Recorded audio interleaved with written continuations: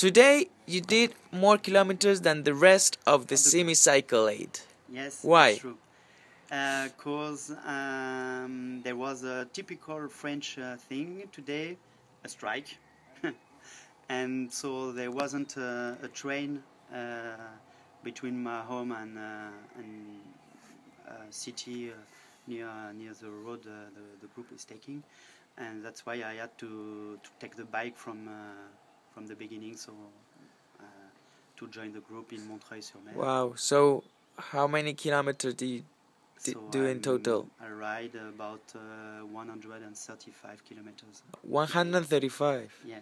And expect extra kilometers. uh, extra kilometers that uh, the group uh, did uh, uh, 85 Yes. kilometers, so uh, Yeah. it's a bit more. And But uh, yesterday I did less, so compens- It's- compensate. It's, it's a balance. Okay.